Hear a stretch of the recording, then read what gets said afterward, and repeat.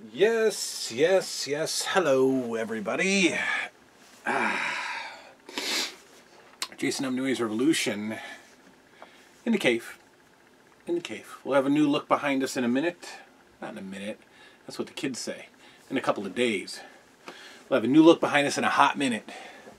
This uh, ET thing, gonna get moved somewhere else. Because I want that back wall to be you know, the art wall, the bag wall, the uh, the defunct department store, just like this one, Gold Circle. That's going to be what's going on behind here. So, you know, when this first went up, it was, you know, it was uh, not permanent. It was a working wall. That's what we like to call it, a working wall. I've had this ET thing for forever. Um, I first saw it when I was uh, watching some really early YouTube. The Angry Video Game Nerd was was a uh, channel that I watched like seven years ago, and he and he had one of these ET things hanging, and I found I found a guy on YouTube that was selling them, and I think it's the same guy that we all bought them from if we have them. It's like old store stock, and he was giving them away you know, there, there was like 14 bucks. And this used to be attached, and it used to have a string, and you would hang it like it was a store signage. Um, it's not like a reprint. It's it's like the stuff from then. it's the stuff from then. And like I said, he must have had a ton of them. I think that's where we all got them from. But anyway, I'll put that. So that that is that is like never really found a home in the early days of the room and the channel. Uh, that thing hung. It hung appropriately from the drop ceiling, but I can't do it now. It, it if it hangs, it takes up too much space, and uh, the string broke and all that. So whatever. Well, that's not what we're here to do. It's not what we're here to do. It is Saturday. I did promise you three videos this weekend. Uh, we've already done one the pickups. And now we're going to do uh, my Mount Rushmore of Christmas memories. That's right. And nothing, nothing says Christmas like October 1st. That's right. October 1st, the family is uh, currently wrapping up the uh, Halloween, Halloween decorations. The in, indoor Halloween decorations are spread out through the house. Uh, I am still sick. I have decided that I have a cold. Uh, the cough is not going away. That's annoying. And now, what do you know? The 10 year old Liam has a sore throat. And when Liam has a sore throat, that leads to a fever. And for 10 years, that leads to throwing up. So we might have some vomiting this evening. It's just a nightmare. You know, you get a cold freaking cold. Dad gets a cold. Liam's going to have a fever and throw up. What's with kids and throwing up? Right? Kids and throw up. It's part of it's part of childhood. You're just going to throw up when you have a cold. It's ridiculous. All right. My top 4 Christmas memories.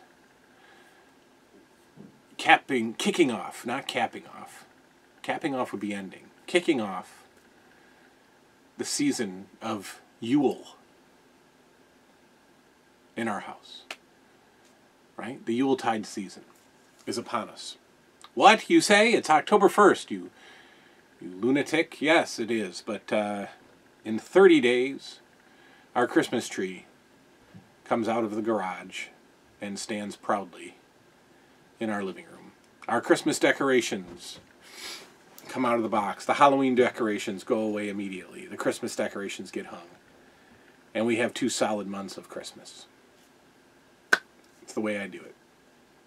It's the way I do it. Why? Because Christmas ended too early when I was a kid. Way too early. Way too early. You know, so I want my kids to have two months of Christmas. Right? That's okay. Two months of Christmas. All right. Top four, the Mount Rushmore of Christmas memories. Christmas memories. Uh, number one, number one, and these are non-present related. No presents here. Number one is what I lovingly named the Christmas countdown. What's the Christmas countdown, you say? Well, I like to think I invented it. I like to think that it was my brain child. I created the Christmas countdown in uh, 1985. Yeah. Uh, my sisters and I would take a uh, big piece of poster board and uh, we would draw a very primitive Christmas tree on it. And a primitive Christmas tree is a triangle. A triangle with a rectangle stump. There's your Christmas tree. Two shapes. And in that Christmas tree, we would write the numbers 1 through 25. And then we would circle the numbers 1 through 25. And those would get colored in as the days passed. So they would be bulbs, right? So we would color the tree green, like, you know, not, not getting the bulbs, leaving the bulbs white. And then as each day passed, we would color in the bulbs. And it was called the Christmas Countdown. And then on the back, we would write out what exactly happens on Christmas Eve. And that's, I'll, I'll save that story because that's on the Mount Rushmore. But when the children were created, I started back up the Christmas countdown. And here I have them all saved. Here is one from 2020. Now, we have two months of Christmas in our house, so we have to draw primitively. We are not artists. We have to draw something that represents November. And so we drew a pilgrim's hat. And as you can see, the children in 2020 colored in all the days in November and forgot to color in the hat. But then on the other side of the poster is that primitive Christmas tree with all of the bulbs colored in for all the days of the week. The 2022 Nup Christmas Countdown. There it is. And this hangs in our kitchen on the door that leads out to our garage. And every morning the children fight over who is going to color in a date. And like I said, I have about eight of these. I think we started it with Liam when he was about two. And we have I have them all. I have them all down here. They're folded in half. And they're they're tucked away in the back. That is Christmas memory number one. That is the Mount Rushmore item number one, the Christmas countdown, the annual Christmas countdown. Uh, number two. Number two. I want to save the, the good one for last. Uh, the actual Christmas Eve, which obviously has to be on the Christmas countdown. Uh, December, period. December as a kid is is a marvelous month, and uh, December. I mean, November felt nice as a kid. November feels nice now because I start Christmas so early. I mean, September feels nice. September, I start buying Christmas presents, right? Non Santa presents. So I started really early. But back then, it, it wasn't started so early. In fact, I don't think my parents Christmas shopped until December. I, I'm just guessing. So the month of December back then was incredible. Um, there was magic in the air. And I went to a Catholic school. And so they really, really, you know, hammered it with, with you know, the Catholic Christmas values and, and traditions and beliefs. So, you know, there was a lot of baby Jesus in the manger drawings and, um, you know, we had like a play every year. You know, I was one of the wise men, one of the three wise men's. And, uh, of course, I brought Frankenstein as a gift to baby Jesus. Frankenstein. That's right. uh, so the you know the the especially as a young kid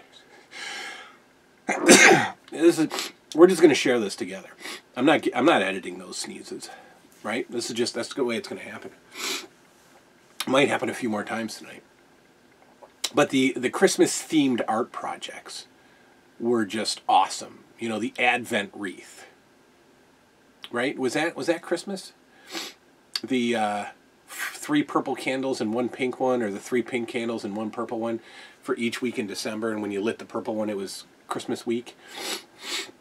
We would bring, we would do those in, in, in art class at St. Pius, St. Pius Catholic School.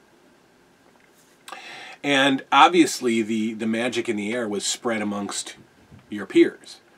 And, uh, you know, you come in, you come in Monday morning after a fresh set of Saturday morning cartoons, and you guys are talking about what is on your Christmas list. What is on the list? And you knew, you knew that you were really going to have to step up your survival game if you were going to get through December in one piece. Because it was too intense. It was too intense, especially back in the day of must have presents. Change your life presents. Okay, you knew that there was a possibility that by the end of the month you were going to get new additions to your LJN Federation.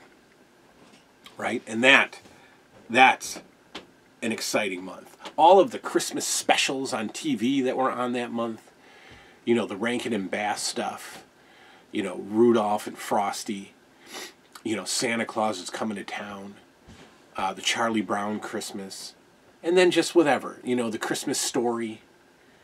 You know, back then, it, well, no, I can't say back then because even today, if you have cable or like YouTube TV or something, there's Christmas specials on all over the place. So I can't say that they don't do that anymore because they obviously do.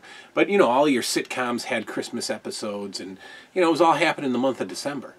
You know, it was it was a good television month it was a good school month. It was the countdown. So December, December as an entity of its own sits on my Mount Rushmore of Christmas memories. Uh, the third Christmas memory, we're skipping right to Christmas morning on this one.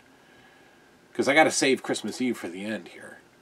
But Christmas morning, uh, you know, I've known some families that um, left their gifts pretty much where they sat all day long.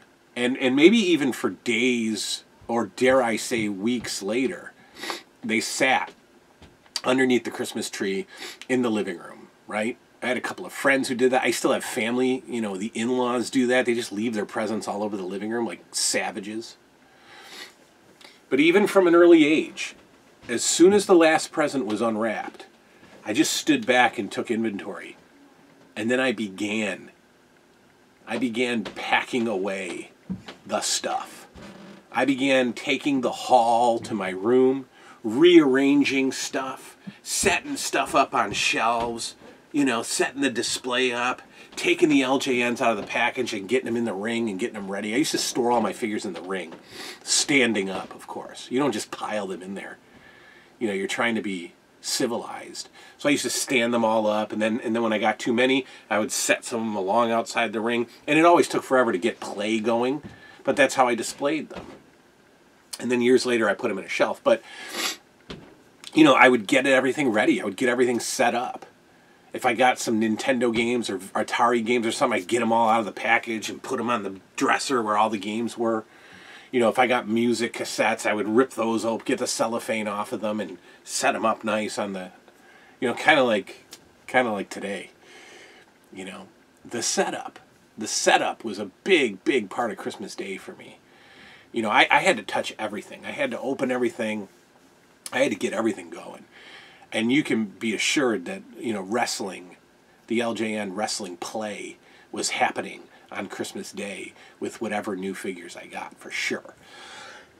I remember very specifically taking the pogo ball out into, uh, we lived in an apartment at the time, and taking the pogo ball outside and um, trying to pogo ball in the uh, you know in the parking lot of Christmas morning. Absolutely, and then and then it was and then you know it was kind of crushed. It was kind of crushed because after my you know idiot parents got divorced, we'd have to go to my dad's on Christmas Day, and that was the all-time bummer of bummers. That was the worst of the worst. Not because I didn't love my dad, but because all my stuff, my good stuff, came from my grandmother and my mother. The sweaters and the and the non-kid stuff came from my dad and his mother. And I just knew I was going to be away from my stuff for way too long. I, I hated it. Um, and it and it carries on today. I will open every single package that these children get on Christmas morning. I will put together so much stuff Christmas morning. Um, it'll just be one after the next. I mean, I have to. We have, you know, yard bag upon yard bag of of uh, you know cardboard that I have to take to the dumpster at my office. Right, I, every every Christmas, I'm just loading up that dumpster with cardboard because everything gets ripped open out of the package. I have to make sure that there's batteries in the house because my kids do the same thing that I did. They get into their stuff, they touch everything, they open everything, and they play with everything. Everything. So the setup, I'll call it the setup, the Christmas Day setup, is on Mount Rushmore. Now, our final item on the Rushmore of Christmas memories. For me, it's an absolute no brainer. It is Christmas Eve. Christmas Eve is and always will be more special to me than Christmas Day. Uh, Christmas Eve is magical. Christmas Eve is and was magical. Uh, the was part defines me as a human. Christmas Eve um, was the greatest day of the year by by a landslide. Birthdays don't care. You know, other holidays couldn't care less. Halloween don't care.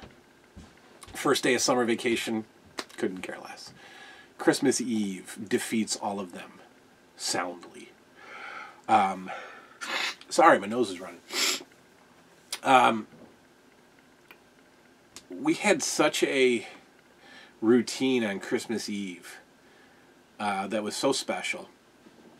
Uh, for for most of my childhood, we would go to my grandmother's, and uh, obviously, when I started living with them, I would just stay there. But uh, before I lived with my grandparents, uh, we would go there, and we would begin our Christmas Eve at like three o'clock in the afternoon, and um, walking into my grandmother's house with the Christmas music playing you know, the Christmas cassettes, all the classics that we all know and love today. The Bing Crosby Christmas, you know, um, Jingle Bell Rock, Brenda Lee, you know, the Elvis Christmas, my goodness. And then, of course, Feliz Navidad, which was always playing as my, you know, as, as the family members drank a little bit more throughout the night, the lyrics to Feliz Navidad were, you know, hammered, butchered, slaughtered. I think my grandmother at one point called it Felice Moppy Dop. Yeah. Big ups to Grandma. Felice Moppy Dop. Anyway, uh, you walk into the Christmas music, you walk into the smell of food. We had pretty much the same menu. My grandfather was Polish he was a, he was um, not a biological grandfather, but he was he was there when I was born. Um, I never I never knew my real grandfather. So he was Polish, and so my grandmother would get fresh Polish sausage from Buffalo, and uh, she she was not a chef. My grandmother was not a chef, and we are not cultural, so we don't have a a cultural tradition tradition of food like Italians and and, and, and you know the like. So our Christmas Eve menu consisted of Polish sausage, uh, macaroni and tuna salad. My grandma would, would make like a rigatoni with sauce.